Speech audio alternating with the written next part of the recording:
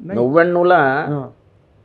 जर राष्ट्रवादी काँग्रेस झाली नसती तर एवढ्या लहान वयात हे सगळे कॅबिनेट मिनिस्टर झाले असते.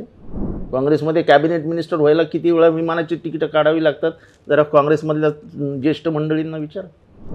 पण बापाने घर बांधल्यानंतर घर सोडता घर जर हे करायचं असेल तर बापाला दरवाजाच्या बाहेर नाही हकलत. जेव्हा अजित पवार गट त्यांच्यावरती हुकुमशहाचा किंवा संस्थानिकाचा आरोप करतं तेव्हा त्यांचं मत असं असतं की आमच्या पाठीशी आमदार आहेत आमच्या पाठीमागे बहुमत आहे आणि त्यामुळं आमच्या बहुमतानुसार त्याचा आदर पवारांनी किंवा त्यांच्या गटाने केला पाहिजे हे त्यांचं सांगणं आहे.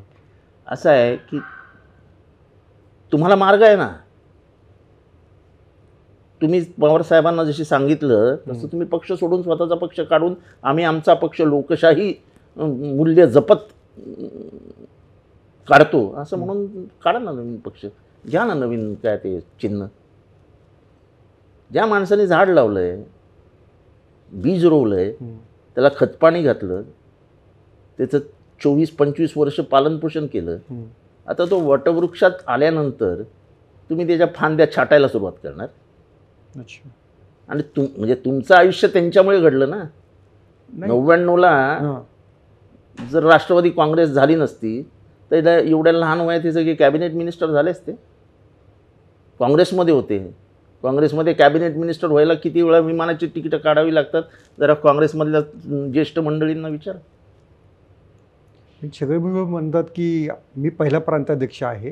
हा पक्ष माझा पण आहे. हा पक्ष सगळ्यांचा आहे ना माझा पण आहे. सगळ्यांनी यातना सोचलेल्या आहेत सगळे लढलेले आहेत. आपण ही सगळी मूल कल्पना कोणाची? त्यांचं योगदान काही नाही का? कोणाचं? सगळ्यांचं योगदान आहे. सगळ्यांचं योगदान आहे. पण बापाने घर बांधल्यानंतर घर सोडता घर जर हे करायचं असेल तर बापाला दरवाजाच्या बाहेर नाही हकलत. काय सांगतो आपण? बाबा तुम्ही ह्या घरात राहा मी दुसरं घर घेतो. ते तर म्हणतात ते आमचे दैवत आहेत विठ्ठल आहेत. ते क परवा कळलं ना जेव्हा तो वकील हुकुमशहा म्हणाला. तेव्हा त्यांच्या मनातल्या सगळ्या भावना आणि त्यांच्या रिट पिटिशनमध्ये त्यांनी काय काय लिहिलं आहे. त्याच्यावर मग समजतं ना त्यांच्या भावना काय आहेत. अच्छा. त्यांचा जो प्ली आहे. तो वाचल्यानंतर सरळ सगळं सम काय काय समजतं? तुम्ही ज्या लेवलला त्यां बोलला नाहीत का त्या त्यांची भाषणं झाली नाहीत का साहेबांविरुद्ध? आता मी परत उघडत बसत नाही. कारण मग त्यांचं म्हणणं असतं हा जितेंद्रच एकटा अधिक बोलतो. हो अनेकांचं म्हणणं आहे जितेंद्र आवारही जास्त बोलतात. नाही जास्त बोलतात म्हणजे तुम्ही साहेबांवरती बोलल्यानंतर त्याचं उत्तरच मी देतो. बाकी मी कधीच बोलत नाही. माझं ऐकलं आहे तरी मी बोललेलो. मी आजपर्यंत अजितदादांवरती एक नवीन पैशाची टीका केलेली नाही व्यक्तिगतरित्या. हां तुम्ही साहेबांवर बोललात तर मी बोलेन. बाकी मला व्यक्तिगत अजितदादा असो भुजबळ असो हसन मुश्रीफ असो सुनील तटकरे असो मी कोणावरही वैयक्तिक एकदाही आजपर्यंत बोललेलो नाही. ज्यांनी ज्यांनी पवारसाहेबांवर बोलले त्यांना त्यांना प्रतिउत्तर दिलं. आणि ते मी माझा धर्म समजतो. कर्तव्य पण नाही धर्म.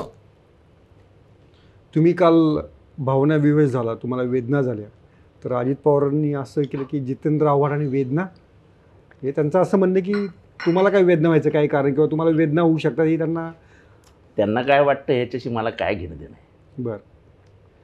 तो एक वेगळा माणूस आहे मी एक वेगळा माणूस आहे. त्याच्यामुळे त्यांना काय वाटतं ह्याच्याशी फार मला काही